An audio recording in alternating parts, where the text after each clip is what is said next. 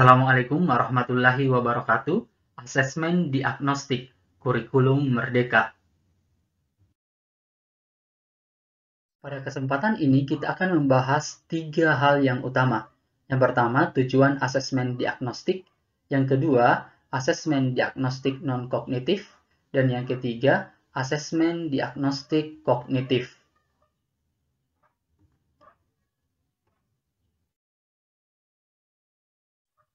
Tujuan asesmen diagnostik.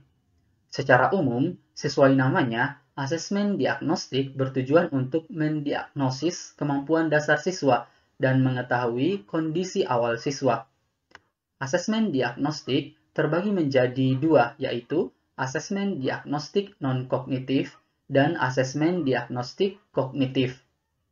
Tujuan dari masing-masing asesmen ini berbeda. Teman-teman bisa lihat perbedaan dari kedua asesmen ini. Untuk non-kognitif, tujuannya adalah mengetahui kesejahteraan psikologi dan sosial emosi siswa. Yang kedua, mengetahui aktivitas selama belajar di rumah. Yang ketiga, mengetahui kondisi keluarga siswa. Yang keempat, mengetahui latar belakang pergaulan siswa. Dan yang kelima, mengetahui gaya belajar, karakter, serta minat siswa. Sedangkan Tujuan asesmen diagnostik kognitif yang pertama, mengidentifikasi capaian kompetensi siswa. Yang kedua, menyesuaikan pembelajaran di kelas dengan kompetensi rata-rata siswa. Dan yang ketiga, memberikan kelas remedial atau pelajaran tambahan kepada siswa yang kompetisinya di bawah rata-rata.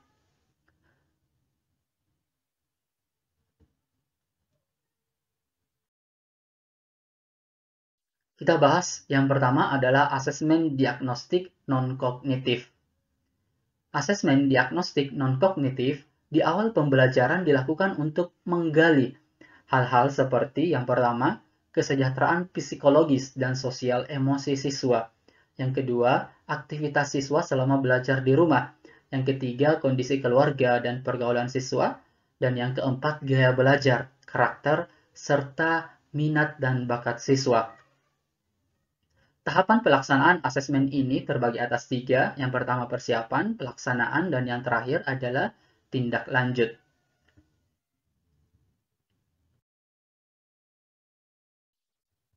Teman-teman bisa lihat ini adalah contoh kegiatan persiapan untuk asesmen diagnostik non-kognitif. Yang pertama itu menyiapkan alat bantu berupa gambar-gambar yang mewakili emosi. Dengan pertanyaan seperti, apa yang sedang kamu rasakan saat ini? Bagaimana perasaanmu saat belajar di rumah.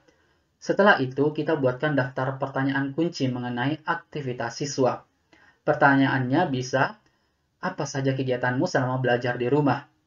Kemudian, apa hal yang paling menyenangkan dan tidak menyenangkan ketika belajar di rumah?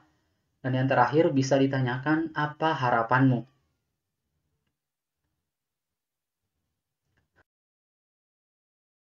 Kemudian contoh kegiatan pelaksanaan untuk uh, asesmen ini yaitu meminta siswa mengekspresikan perasaannya selama belajar di rumah serta menjelaskan aktivitasnya. Bentuknya bisa dengan bercerita, empat mata dengan siswa, uh, kemudian bentuk lainnya bisa dengan meminta siswa menuliskannya uh, di kertas atau di buku siswa, Kemudian aktivitas yang lain yang bisa dilakukan adalah dengan menggambar, mengekspresikan perasaan siswa melalui gambar.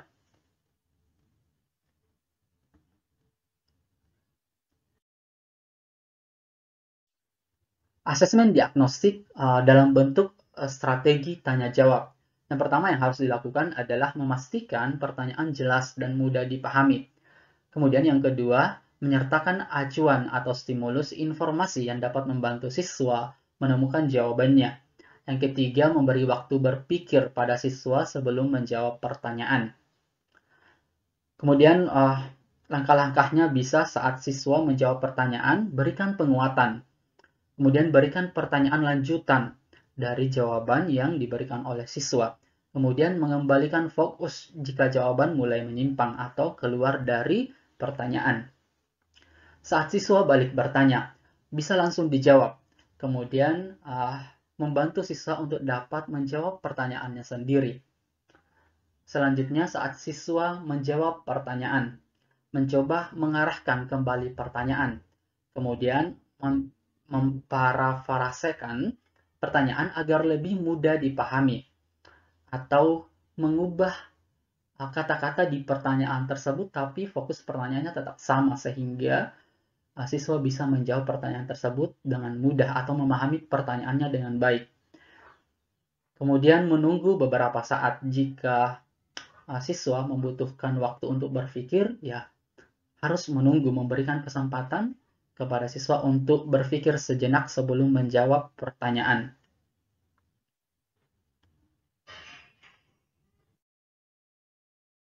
Langkah ketiga adalah tindak lanjut dari asesmen diagnostik non-kognitif.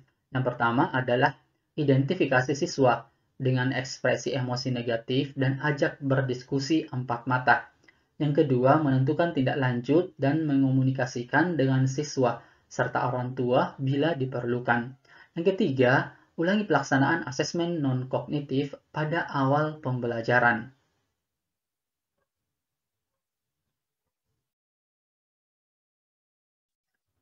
Selanjutnya kita bahas asesmen diagnostik kognitif.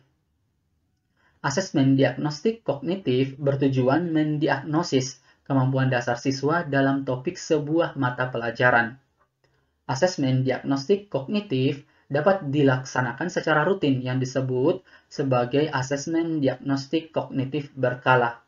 Dilakukan pada awal pembelajaran, akhir pembelajaran setelah guru selesai menjelaskan dan membahas topik dan waktu-waktu yang lain.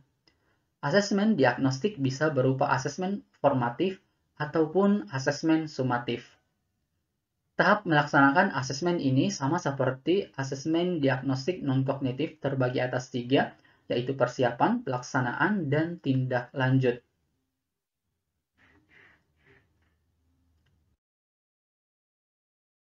Teman-teman bisa lihat ini adalah contoh asesmen diagnostik kognitif Uh, bentuknya adalah persiapan dan pelaksanaan. Yang pertama itu adalah membuat jadwal pelaksanaan asesmen. Yang kedua, identifikasi materi asesmen berdasarkan penyederhanaan kompetensi dasar yang disediakan oleh Kementerian Pendidikan dan Kebudayaan. Yang ketiga, menyusun pertanyaan sederhana yang meliputi yang pertama, dua pertanyaan sesuai kelasnya dengan topik capaian pembelajaran baru. Kemudian, yang kedua, enam pertanyaan dengan topik satu kelas di bawah. Maksudnya adalah jika siswa adalah kelas 8, maka enam soal ini adalah soal di kelas 7. Jadi satu kelas di bawahnya. Kemudian, dua pertanyaan dengan topik dua kelas di bawahnya. Artinya jika siswa kelas 8, maka dua kelas di bawahnya itu dia artinya soal kelas 6. Sesuaikan pertanyaan dengan topik yang menjadi prasyarat untuk bisa mengikuti pembelajaran di jenjang sekarang. Berikan asesmen untuk semua siswa di kelas, baik yang belajar tatap muka di sekolah ataupun yang belajar di rumah.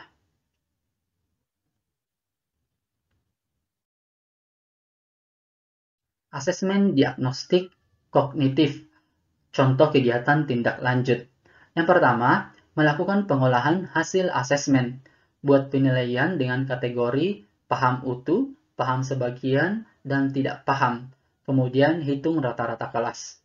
Yang kedua, bagi siswa menjadi tiga kelompok.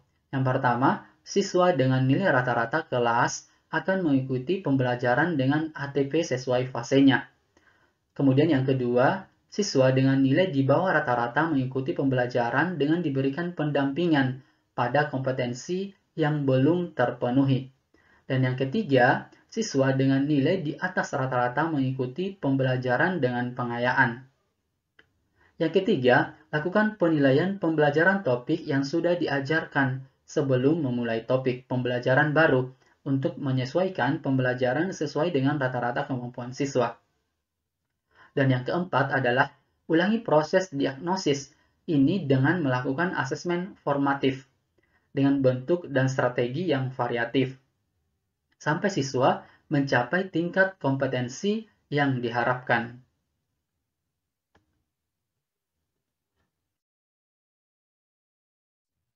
Ini adalah contoh perencanaan soal hingga tindak lanjut pada asesmen diagnostik kognitif.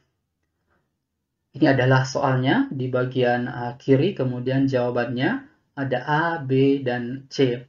Jawaban dengan uh, A itu artinya skornya paham utuh.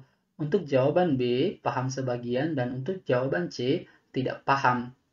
Tindak lanjut untuk jawaban A itu adalah pembelajaran dapat dilanjutkan pada KD berikutnya tentang hubungan antar satuan baku panjang, berat, dan waktu, serta data dan penyajiannya dalam diagram gambar di kelas 3. Kemudian siswa yang menjawab B itu dia artinya paham sebagian. Kemudian yang menjawab C tidak paham. Tindak lanjutnya berupa memberikan pembelajaran remedial dengan menekankan pada cara mengukur panjang benda dengan menggunakan alat ukur baku panjang seperti mistar, meteran, dan lain-lain.